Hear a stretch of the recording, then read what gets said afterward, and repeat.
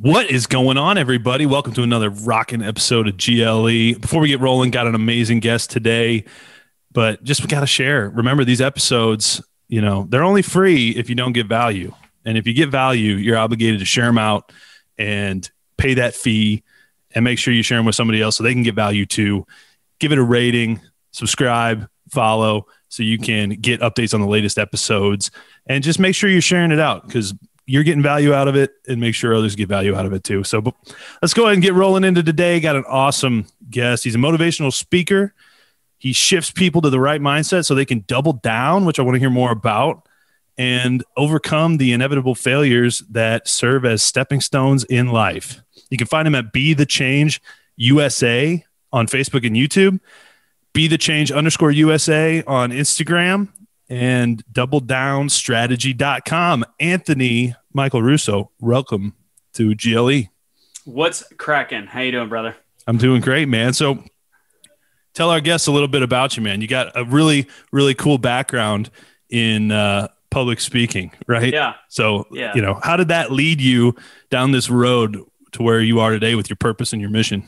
Absolutely. So I uh, I started speaking. Well, funny enough, I went to art school. So I was a graphic design major, communications uh, design major, and uh, advertising. And right out of school, everybody quickly realized that it was not my design skills that I was good at; it was my speaking uh, ability because I somehow could articulate myself into a good grade uh, even if the work was kind of garbage. So I went into sales naturally right out of college, okay. and uh, in, and I was still stuck in the graphic design industry, like sales in that area.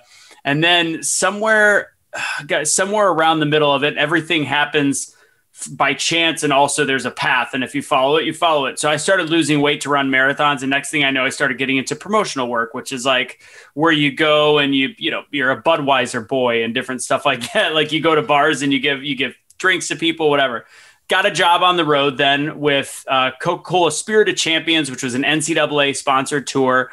And we like did the setup, we did the breakdown, and next thing you know, I became our lead MC. I'd never been on microphone a day in my life, wow. and next thing you know, I went from being the new guy to the lead MC in about four months to then being the guy that the NCAA like two years later said, you know, hey, would you like to come on field in, you know, the halftime and do a promotion for us on field? And then over a couple years after that, I then was doing every single national championship for the NCAA, as well as uh, spots for different uh, advertisers on field and in front of tens of thousands of people. Wow. Uh, and then I then I just went, I guess, became a professional speaker at that point. So that's super cool. So, did you get nervous when you were talking in front of those big crowds, or how how do you feel when you when you do that?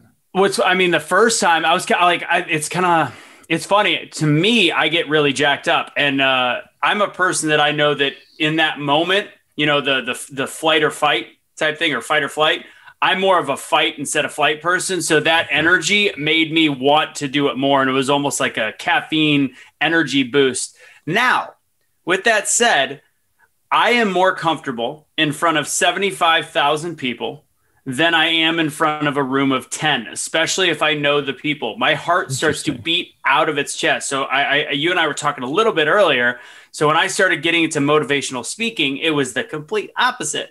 Wow. So I went from 75,000 or 20,000 regularly to then these small rooms or even like, I don't know if you've ever done stand up, uh, but stand up in a oh small, small areas. Yeah. Yeah, absolutely. Oh, dude, that's awesome, man. And but there I get so nervous and I I know that I can do it because I can I've done spring break events for for years and I'm in front of 10,000 college students and I can talk smack for 3 hours straight and just talk talk talk talk talk and have a big crowd and bounce back and forth but when it is a small room of 10 people whether I'm doing motivational speaking or an open mic night it's like I have 170 beats per minute and I'm freaking out for some odd reason. Crazy, it's much harder. Man. So yeah.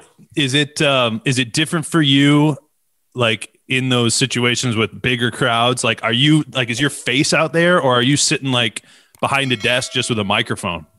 No, I'm the jumbotron guy, so I'm not the uh, PA okay. guy. So my face is on the the jumbotron. Cool. So my, I'm out there. But with that said, it's very impersonal where it's not is not as intimate as uh, it's not as intimate as you know a small group of people. Like being this close to somebody is just for some odd reason to me it's different. I can still do it, but it's a it's a different thrill, I guess you could say. Yeah, I've I've always been amazed by stand up comedy. I truly think that stand up comedy is like the truest form of public speaking. Like if you oh, can yeah. get up in front of a crowd and these guys that do like an hour, 2 hours, mm-hmm. like if you can get up just you on a stage with a mic for 2 hours and just generate and and make that room spin, like that is incredible to me. That yeah. like, it's just amazing. Have you ever amazing. heard of a, a comedian by the name of Ian Bagg? Ian Bagg. He, he was on one of those TV shows, like the competition TV shows. I don't if, think I have. Actually. If not, look up Ian Bagg. So he does a, he does a great set. But what makes Ian Bagg special, especially he's got you know place in my heart, is he does crowd work, and he oh. can literally he'll talk to you, and then he'll talk to the girl like eight rows down, and then he'll talk to the person in back, and he'll piece everybody's story together just perfectly to make fun of everyone in the room. Wow. And that's to me like utter and complete brilliance. Like you That's can always crazy. do a Robin Williams set. Like Robin, yeah, yeah. you know, I mean, if you're great, you could do it. But the ability to use these anecdotes that he probably uses all the time, but finding a formula to make it work with the crowd to me is absolutely ph- phenomenal. Yeah, super cool. That that is. I'm I'm a huge student of just the whole idea of, um, you know, I think a lot of times in life we don't set up the premise when we're talking, and like when you're telling jokes, it's so blatantly obvious like hey that joke didn't land right? Because you didn't p- people didn't get what you were talking about. Right. and i think so often when we have miscommunications in life it's because we like the other person doesn't know what we're even talking about because we didn't right. set it up in a way that they can understand it right? So i've always just been intrigued by just concepts from stand up so it's so cool that, that you're a big fan too. Tell us more about doubling down what does doubling down mean?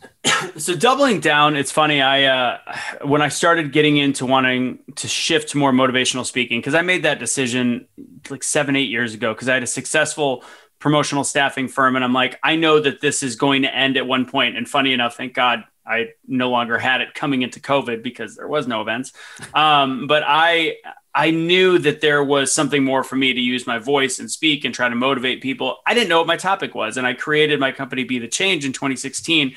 But what is that? Like, how do I create a whole speak speech on being the change, which now I know because it's evolved. But at the time, I was like, what is what's true to me? What's personal? So I had a speaking coach, and I always encourage people as they're going through life decisions to actually spend money on people that can help or programs that can help that are actually helping you get to that next step. And people are like, I don't want to spend any money. It's like, eh, there is something to it. Even if you don't have money, you have to kind of find a way. Like that's what Tony Robbins sells. He's like, you know what? You don't have four hundred dollars. Find a way to borrow it. So, anyways, I got into I got into my speaking coach, and we started talking. And I'm like, what do I do? Do I write a book? And what's my topic? I've got no idea. So, funny enough, uh, I ended up doing something that was very unlike my character, but it was like my father. So my father is a um, was was a compulsive gambler when he was still alive. He had multiple sclerosis, wow. and he played a style of blackjack when we were. I grew up very very poor, so it wasn't like he was the guy doing like two hundred thousand dollars at the table. He was essentially gambling away the life savings. You know yeah. when he went out.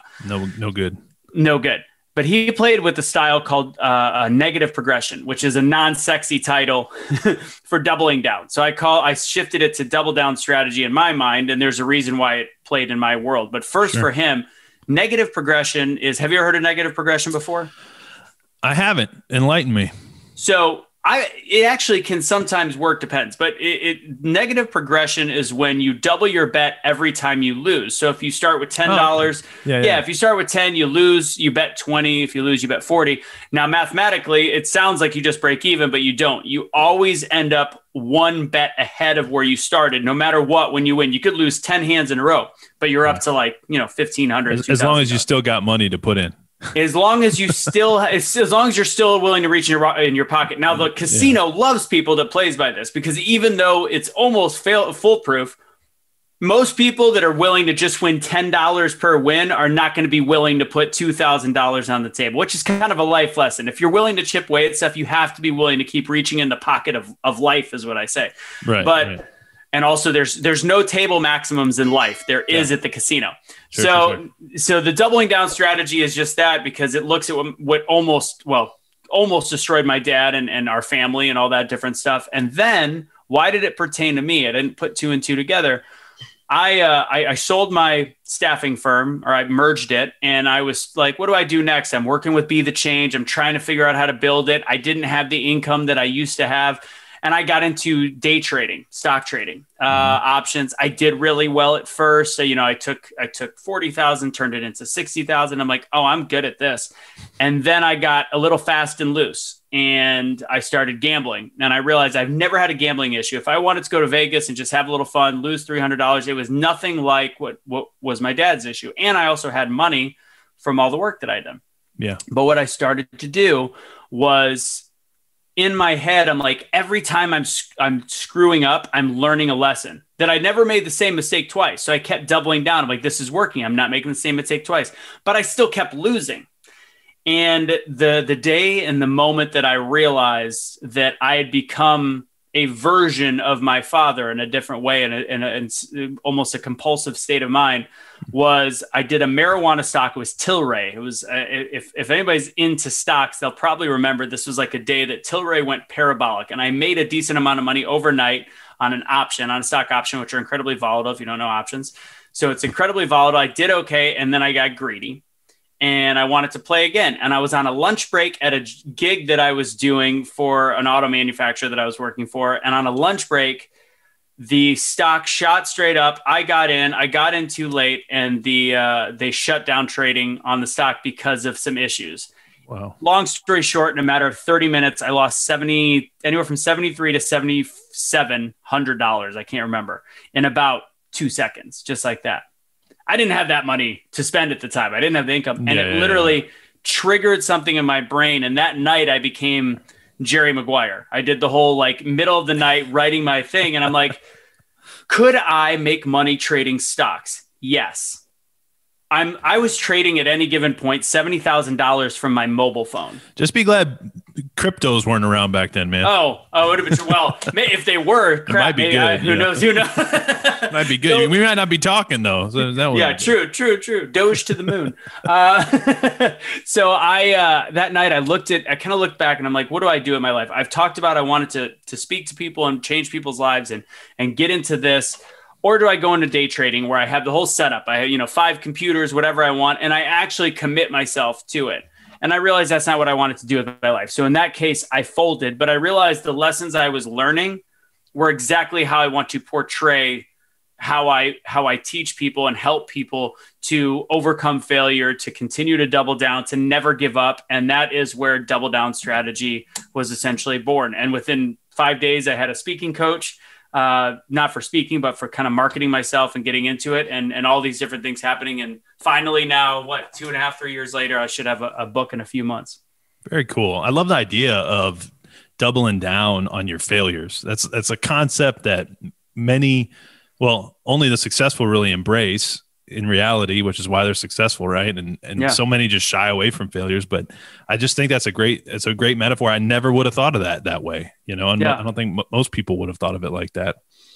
Um, I was going through your Instagram, looking at some of the quotes that you post. Yeah, and um, one of the things that you posted was um, God's plan for you is about His plan for the world around you. And I thought that was really a cool quote I'm curious how faith plays a role in in your life and and in be the change and how this whole thing started. Yeah. So 20, 2021 is also interesting as we're kind of evolving. I've I was raised uh, I was raised Christian. Um, definitely went to church like three days a week when I was younger, and then never strayed from God, but just kind of got over um, got over going to church. Uh, I was I lived in Milwaukee for a long time and it was very Catholic and that just wasn't my speed. But I always had a good relationship with God and part of that is obviously faith. So faith that things go the right way. And I I'll I'll give an interesting story here. So one lesson that I've really read and learned is uh, successful people understand that everything happens for a reason and it sounds cheesy it's just like yeah everything happens for a reason but no things things do and failures are bound to happen it's if we look at failure as a woe is me situation, or maybe God had a plan and maybe there was a reason behind it. And I, I, I it took me until fifth or sixth time I actually spoke to realize that this is a really impactful story and I should tell it to people and share it.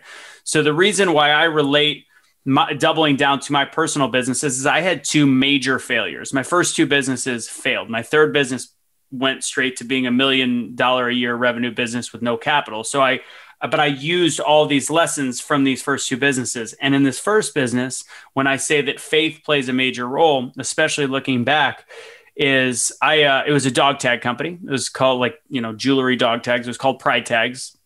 Part of being something more. I had collegiate licensing. Everything that could have gone right went right. I got a hundred thousand dollar business loan. I had a great business plan, and the economy went kaput and I had one item, and nobody wanted to. None of the stores wanted to buy it, and uh, well, few, but they wanted uh, multiple items. But there, mm-hmm. it was a failure.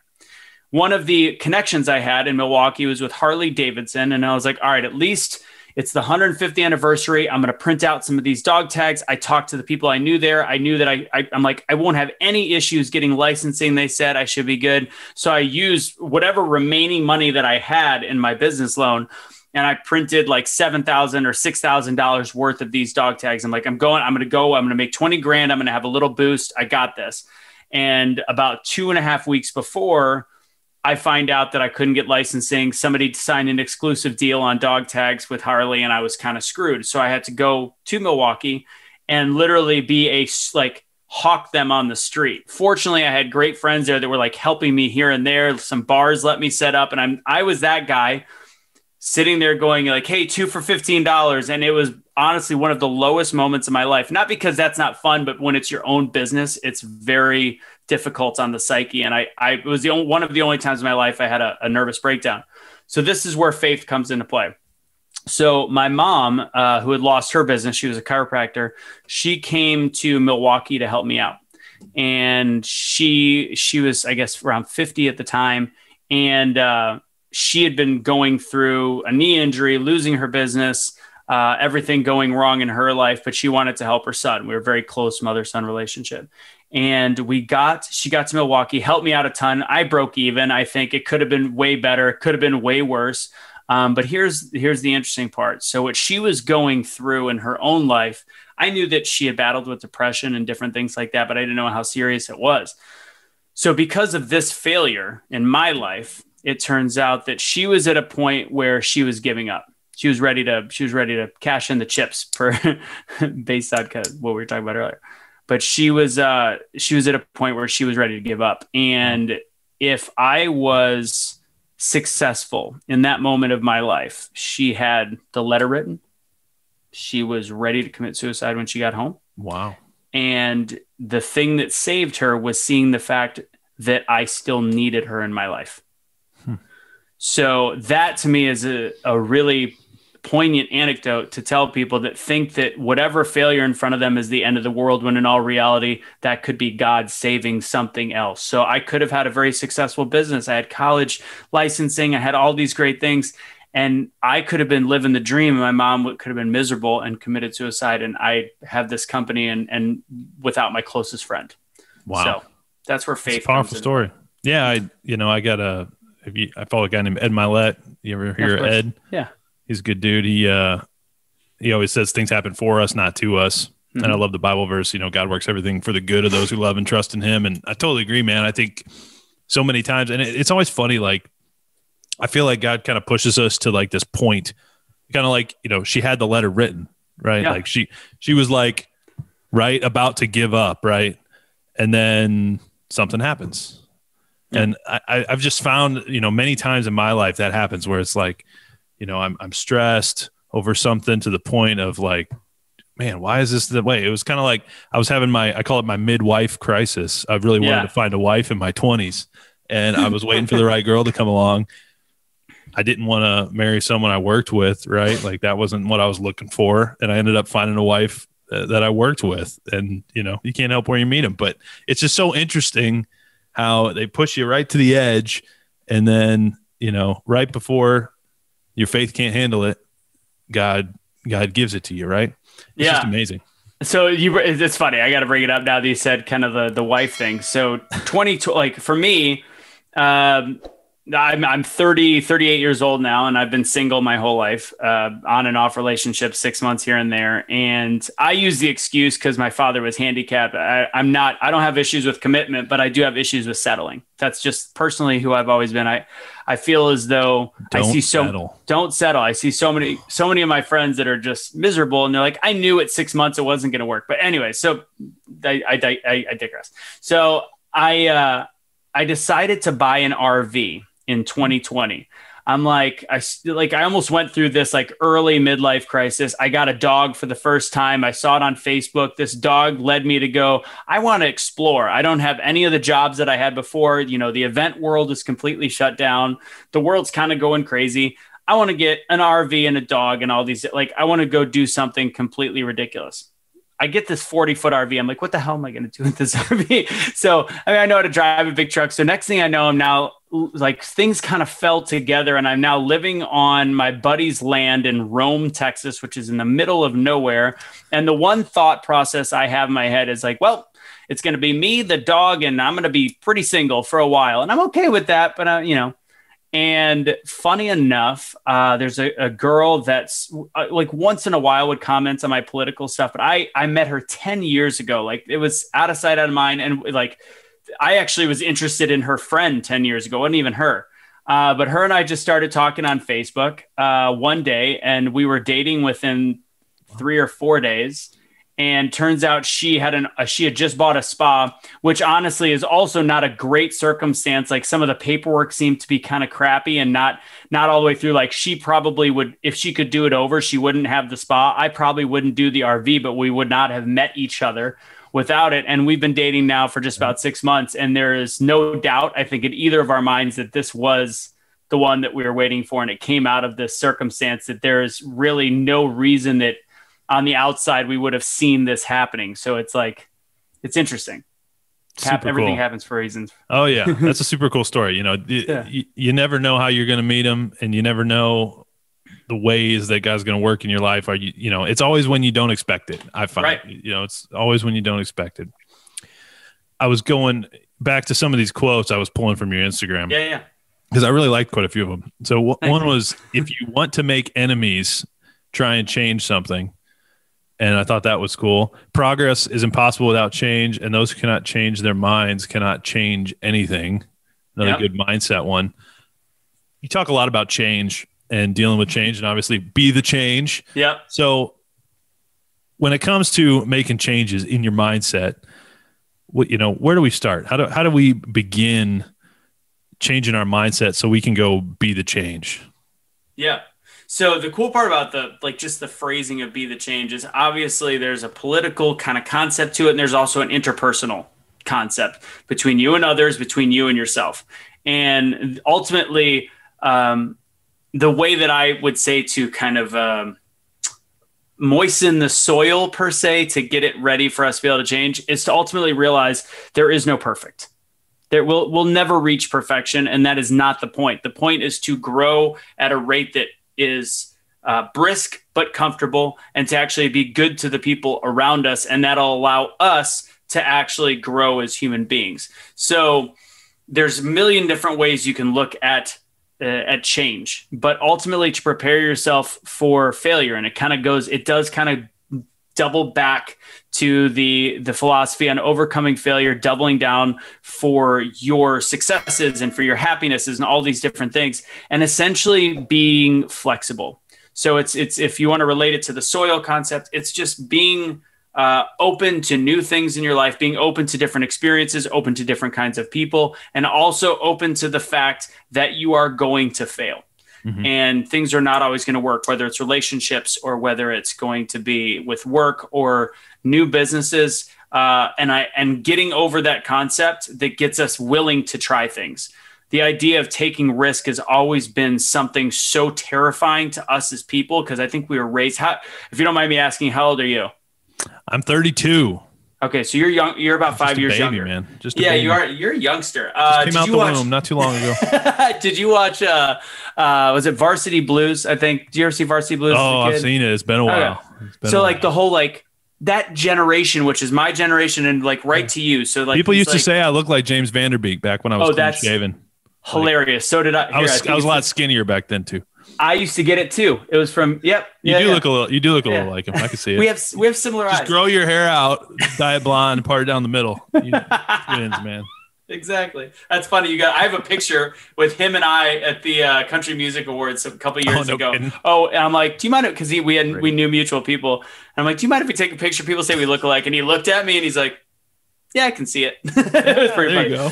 Um, but the uh, the whole philosophy from Varsity Blues was be perfect, and we were. Yeah. I think there's this 10 to 15 year area that everybody was being raised to be perfect. So we have such a fear of doing anything because we know that that's an unattainable goal. So in Mhm. order to change things in our life, we have to have willingness to fail and a willingness to try and a willingness to take risks and uh, the pain that the pain that we get from from failure and these risks and the things not working out still aren't as bad as a long-term effect of not actually trying to be excellent to be extraordinary you can still be extraordinary without being perfect You know, one of my favorite lessons from Varsity Blues that I learned is puke and rally. Yeah. That- that's the one I remember. yeah i remember what that was the big takeaway back in the day for, for us.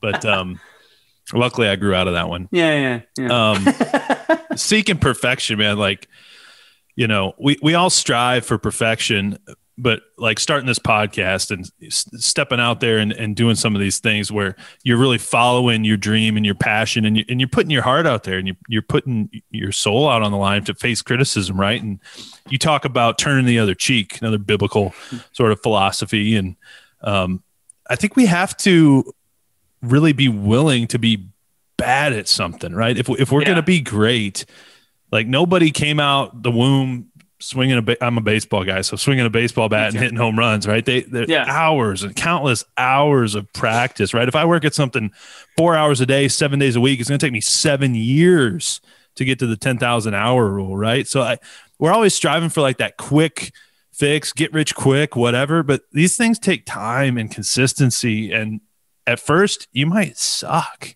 Mhm. right? Am I Yeah. right? yeah Are you- 100%. what do you do when you're dealing with that self doubt? You know, you it, it's harder than you thought it was going to be when you get into it. Like, what's going on in your mind, and and how do you keep going when you're feeling that? Well, uh, first off, uh, like I, I'm, I'm a big David Goggins fan. You embrace the suck because you know that it's making you stronger one way or the other. Um, and it's um, I'll bounce back to your your baseball. Uh, I always use a baseball analogy. The the what is considered the ultimate imperfection in baseball, perfect game. Somebody pitches 27 batters up, 27 batters down. The question then becomes: Has there ever been two perfect games in a row? No perfection is fleeting, incredibly short. So if perfection is that short, then the struggle is obviously going to be longer in many cases. And I, I this is actually funny. I, I literally had this on my motivational Monday that I uh, taped this last week. Is if things suck. You have to reorganize what you have in front of you, make it manageable, make the crappy stuff manageable. So knowing that perfection is the seemingly seemingly unattainable goal, so you have to make steps. You want to you want to try to find a way to to make tomorrow suck less. It's funny that was our slogan at uh, uh, College World Series. to, to- you guys did great today. Uh, kind of, but tomorrow let's suck a little less. So take i'm a i'm a notebook person i have daily i have things that i try to cross off probably Yeah. didn't see it in that light and if it's little things the brain and this is as psychological as i typically get um, the brain needs to know that it's doing something good even when things are bad. It needs to know that you're accomplishing something. So it triggers the serotonin in the brain to say all right you're progressing. You're moving forward. You're getting out of it. So make a list of, of to-dos that you have to do and some of those might also be mental things. Like take 10 minutes to meditate take 10 minutes to the gratitude i'm a huge believer in, in making gratitude lists my girlfriend and i do that to each other all the time and it's just uh, a full and we it's not just about each other but about the things going on in our life so to focus on what is uh, what is positive focus on what's positive and and also make the daunting aspects of your life manageable. There was a great exercise somebody gave me one time. I was actually in a group setting and I've used it myself, pawned it off. Uh, I, I, get everybody in the room to uh, find something that is red. Find something red around you. You see it, it's red. What you got it in your head. Now close your eyes. Mm-hmm. After about five seconds, I say, okay, keep your eyes closed. Tell me something in your room that's yellow. They, most of the time they can't do it because all they're thinking about what's red and you think about this from a positive aspect so if you yeah. all you're focusing on is the crappy things that are going on in your life that's all you're going to see in your mind whereas if you start looking at the one or two positives all mm-hmm. of a mm-hmm. sudden your mindset shifts everything changes and you actually have the ability to be the change in your own body and you have to take care of yourself in order to do that that's really interesting. I've one of my mentors, he goes way against the the mainstream thinking on this. Mm-hmm. And bear with me here, and and I hope the audience does too. so he talks a lot about therapy and therapists and how kind of what you just described focusing on negatives you know you go to therapy you think about talking about all the stuff you got going on and and he's really an advocate for hey that stuff that already happened it's in the past it's already gone. If you continually speak it and repeat it and dwell on it you'll keep reliving it. And he, so he's he's a huge advocate for it you know speak what you want. And if you have something crap in your life it's gone. It's already passed today's a new day. Just speak what you want and move forward and stop dwelling on it. And I thought that was a really interesting, you know, that's not a philosophy I'd really heard before he had shared it with me. I thought it was an interesting perspective. Have you ever heard anybody talk like that? Yeah, me.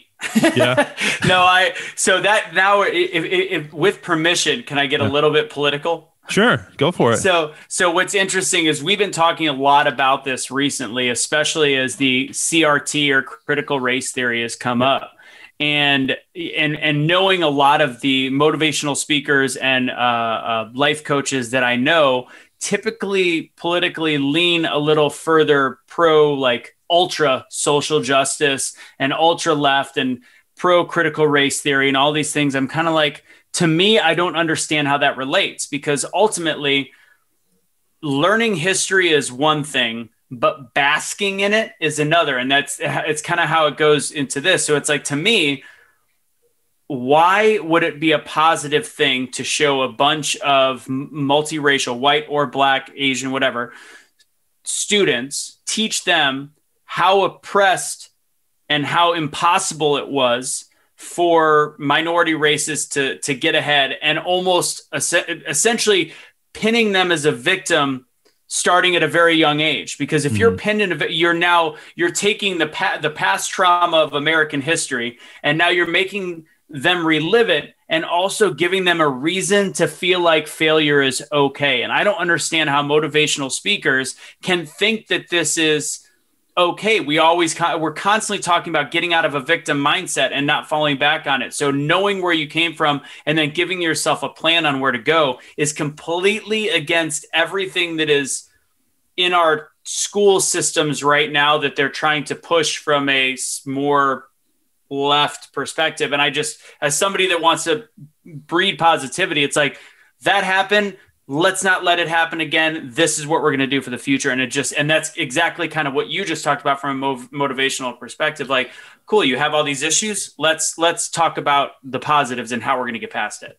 Yeah let's talk about what we're going to do moving forward so none of that happens again right? Yeah. like let's if somebody, stop dwelling on the past. Yeah if somebody kept beating into my head about you know how bad my childhood was it's probably, you know, like, and I didn't have a bad child. I mean, whatever. Sure. If somebody kept saying like your dad was a compulsive gambler, you're not going to be anything because look at that. I'm probably going to have a much harder time getting past that. Right.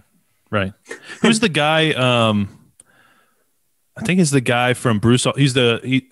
Obviously, I, I know the guy. I'm, his name's escaping me. He he played uh, God in Bruce Almighty. He, Steve uh, Steve Carell. No, he was God. He was the. Oh God, Morgan Freeman. Morgan, Morgan Freeman. Freeman. Yeah, yeah, yeah, I heard. Yeah. I heard Morgan Freeman. Uh, they were asking him something about Black History Month a long time ago. I don't know if you've yeah. seen this interview. Of course, but he, he, you know, he basically said, "I don't want a Black History Month. I wish we'd stop talking about it." Yeah, he's like, "How is Black history different than any any other history?" Yeah. He's like, American, Black history is American history. Like, yeah. we just teach history. And, you know, I, I thought that was a really interesting perspective from him. And, it, you know, nowadays it's the stuff they're teaching in schools, man. Like, people are going to have a hard time, you know, being able to put their kids into that propaganda machine public school system if it continues down this path. I don't. I honestly don't know. We're kind of getting to the point where I don't know how people can even justify letting their kids go through that. You know, it's really unbelievable what's being taught in schools at this point. So I had an eye-opening experience this last week. So we've got an event coming up this weekend, and I have uh, we have two Gold Star uh, wives that are on that are going to be a part of this event. And for those uh, listening that don't know what a Gold Star wife is, it means that their husband li- died in the line of duty, and their children and again i don't I, I honestly i've had great friends on both sides so it's not even about left or right but it, it's it's fascinating to me that their children are going through the public school system both of these moms and their children 12 and 14 on one of them and then teenage years to in their 20s on the other lean politically left and not pro military like not necessarily pro military and they hmm. lost their fathers. To to me, I'm like, the school system has to be doing something very drastic f- to the point where these kids don't don't lean on the side of the more pro militaristic side of the political spectrum. I thought that was shocking. Yeah, I mean, if you want to change if you want to change, you know, you think about a couple of years ago, well, I guess a couple generations ago, you know, you got the first generation with no God in schools, and then you got the first generation of kids of the parents that didn't have God in schools, and and now right. you've got our generation today with you know it's it's just a progression, right? And and you get them while they're young, and um, that's you know you, you can't teach an old dog new tricks, but you get them while they're young, you can put all sorts of things in their minds, right? They call it TV programming for a reason. Yeah. Um, one of the things you talk about is having divisive conversations. Your, your quote was sometimes to end division, you have to have divisive conversations. And I think we're, you know, we're, we're kind of stemming toward a political conversation, which could yeah. be divisive. Yeah. How is having, you know, I, I, one of the core values of leaders, I think, is love, right? Mm-hmm. The, the GLE values are faith, love, integrity, and courage. And, and I think it takes a lot of courage to love somebody enough to be brave enough to tell them the truth and and it's not about pushing an agenda it's not about sharing a message it's about telling the truth and so you know how do you think about and and what can leaders out there do to help themselves when they're maybe not feeling as courageous as as they could or, or they're challenged to tell the truth in a tough situation like what what would you say to the next generation of leaders out there say it uh, that's and that's what I've learned. And honestly, when I when I made that post, is I've progressively gotten, I've watched the impact, and um, I was being soft as much as possible because I wanted these grand conversations from the left and the right. And funny enough, the the the more middle I played, the more politically correct I played, hinting at my suggestions, the less anybody wanted to have a conversation from both sides. And that was the core concept of one of our main shows at Be the Change called Truth Will Set You Free. And just because something is my truth does not make it the truth. I can try to highlight why I feel it's the truth, but it still is it still is my version of it. And mm-hmm. the idea behind it is to have an open mind going into this. So why to go to your question of what is my advice? I think what we're seeing right now is the people that disagreed with um, with voting the way that voting for one political party, the ones that disagreed and quote unquote lost, were very quiet about their vote, and now they are being much louder. But it's showing that it's almost it's it's essentially too late unless they want their vote to be heard again for 2022. So ultimately, speak your truth and not be afraid of the repercussions. Because in the end here's here's here's what happens. A few people speak out. Somebody like me and we are at risk of losing certain jobs and certain friendships because we are the few that are speaking out despite what we're doing in our different fields and in our different work. And I'll tell you a funny story after this but if if more people like me who everybody that I used to be friends with knew that I was a good guy, knew that I legitimately was always giving money to charities, donating time, spending ways of like helping people, investing in my friends of all races. But once I started to speak up, I was deemed as this horrible person. Why? Because the media puts me as this person and because not enough people are speaking up. Now, if we've got tens of thousands of people that are at least speaking their mind on what they do, all of a sudden it doesn't mean that one side of the political coin is strictly a bunch of country bumpkins from the middle of nowhere. It's a bunch of intelligent people also where people might go, I disagree with them but that's okay. Like he's, I'm sure he's a smart guy and he's got whatever. Instead of being the outcast. So my my only point is, if we all risk at the exact same time on our belief system, we'll have a country where we can agree to disagree again, which is always a phrase that can have a negative connotation or a positive. In this case, sure. I take it positive because that's part of being an American is to disagree on things and to still be brothers and together and all that stuff. Yeah, for sure. I I think what you just described to me reminds me of uh, some of Jocko Willink's stuff and mm-hmm. just really own it. Like, and I've used this example so many times, and it, it may not be the best example, but it's like the most relevant one in my head. Like when Trump in his first presidents, you know, in his presidency, like everyone was getting on him for saying these things, and uh, this might have even been when he was running, and he just like he, he didn't like apologize for it. He just kind of owned it, right? He's like, yeah, I said that, whatever. And I think so, we're so afraid to just kind of own, like, just own it. And yeah. like, yeah, just, I'll just face the music. Like, that's what I said. Move on. Like, I'm, I'm not going to apologize for what I said. And like you said, it's kind of a, getting to that agree to disagree point.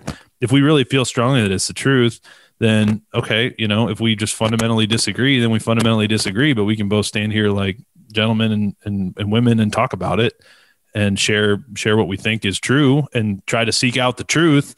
But you know, I taking ownership and really owning, and this is like a be the change concept for me. It's it's you it's up to you to change whether that's you changing your mind or you being the change in the world that you want to see. And so many people sit by and they they're like waiting for someone else out there to like do it. They're like, oh, somebody needs to do something about that.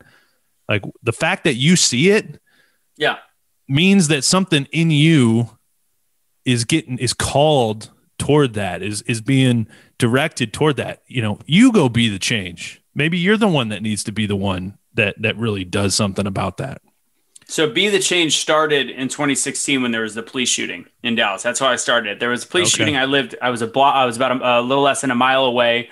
And I started thinking to myself, this is insane. So this is where our country is, is gone is we have got an anti-police protest where policemen were protecting those protesting against them. And that's where the police officers got killed. And I started looking at everything at once. And it was like mm-hmm. I was mm-hmm. in this kind of odd matrix. And I'm like, why are we why, as a country i think we, we've used this term i'm an activist and, and forgotten a core root part of the word of acting. So all we do as an activist in this country is create awareness. And one of our t-shirts would be the change is action over awareness. And it's like we have so much capability. Think about if people took, and especially if you want to take from a financial standpoint, all the money donated to Black Lives Matter as an, it's not an organization, as a company, all the money that went to that, if yours a hundred million dollars that you can actually take and put real actionable programs, if the government actually, not that the government would ever do anything like that, but the government could actually put something together where there's community policing, where people get to meet each other in these like state by state programs. And then at the same time, all these people spending hours and hours and hours a week to actually go donate their time. If they don't have money, donate the time they clearly have it to march to actually educate inner city youth, to actually go in and volunteer their time. And it's like, we have missed the mark so much in the last, I mean, forever in this country. We've had little issues, but we have in the last 10 years, it's like we have completely forgotten what it means to actually be the change and what our issues are, what we have a problem with. I said that mm-hmm. the only thing in the last decade that needed awareness in our country where it's like nobody knew what was going on was the Flint water crisis. Nobody knew that was happening. Besides that, everything else like inner city youth not ha- not having a fair shake, bad education, uh, issues with police here and there. We know. Let's actually do something that actually can make it better instead of just march up streets. And that was kind of the epiphany that I had at that time. That's why be, where Be the Change came from. That's so funny, man. It we actually I was ta- I had a doctor on my show last episode, and he just he brought up the Flint water crisis when Oh, we were talking funny. about water. What are the chances? But I, I love that, man. I um I think like I don't know about you. Like maybe I've lived a, a sheltered life or or something, but half the stuff I hear in the mainstream, I can't even relate to it. Like I don't even understand it. And in the world that I see, living where I live, and and going, uh, you know, I've lived in downtown Detroit, Michigan. I've lived in you know wealthy counties in Michigan. I've lived in Chicago. I've lived in Texas in multiple places. Like I don't see any of the stuff. You know, I know people of all races, religions, whatever. All this, all this conflict and stuff going on. Like, I don't, I don't see it. And so, when I hear these things, this narrative, these things being being pushed by the the magic box that tells us what to think, it makes me think everybody needs to turn that thing off because if they just went and turned it off, they would start thinking for themselves again and be able to see when they turn it back on how much of a joke like it's literally a joke. It's a yeah. it's a it's a play. You're watching a movie. Like there's there's nothing real on there. There's nothing on there except what they want you to be thinking about. So, you know, it's called TV programming for a reason. And and I really think up to, you know, to your point, if people really want the truth and want to get back to the truth and really, you know, be activists and be able to act and make a difference toward the causes that really matter, you know, th- they're in their communities. They're right where they're sitting. Right they're right in their in their area where they can go take action. And it's really cool that guys like you are doing that. So talk, talk more about Be the Change. Give us a little overview of what all you're doing Yeah. and um, let our audience know where they can find you. Yeah, so we had uh, King Randall uh, was on last week. We have so in Be the Change, we've got a whole bunch of different shows, and it grew leaps and bounds. We had all you know 500 followers before COVID started, and then next thing you know, um, we I started talking a little bit about that. I had some entertaining shows with like movies and giving away trivia and helping people during COVID, like giving five dollar things, and people were paying it forward. It was great. And then did Truth Will Set You Free? George Floyd happened. I ended up becoming friends. Uh, I, I instant messaged a guy and he responded back. Uh, his name was Cashley Kelly, went super viral. He was a black dude that talked about when our Black Lives Matter can Yeah. matter to black people. And he, um, he was an ex Latin King gang member. And him and I became best of friends. I'm his godfather to his new daughter. Like we, Oh, wow. we got, we got close really, really fast. And it, and all of the, the things that we started doing on our shows were interesting because it was, I was typically one of the only white people and, and we were having trouble Yeah. getting both sides to come in and have a conversation because we didn't have experts on race race theory.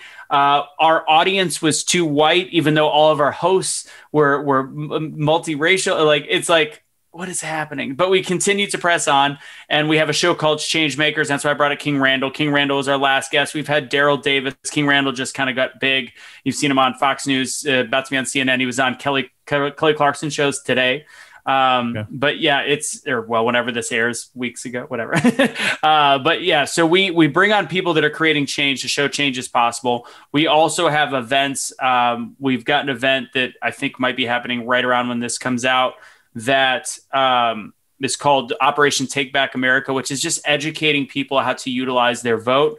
Uh, and it is a conservative event, but it's just it's utilizing kind of logic, and people are wondering what their rights are as people. What if you know? What if they lose their job? We've got lawyers coming in, we've got politicians that are going to speak, and we are just essentially. I made I made the commitment about uh, about three months ago to say I don't know how to hide the fact that Be the Change is mine, and I have conservative beliefs that I hope that can create positive change in this world.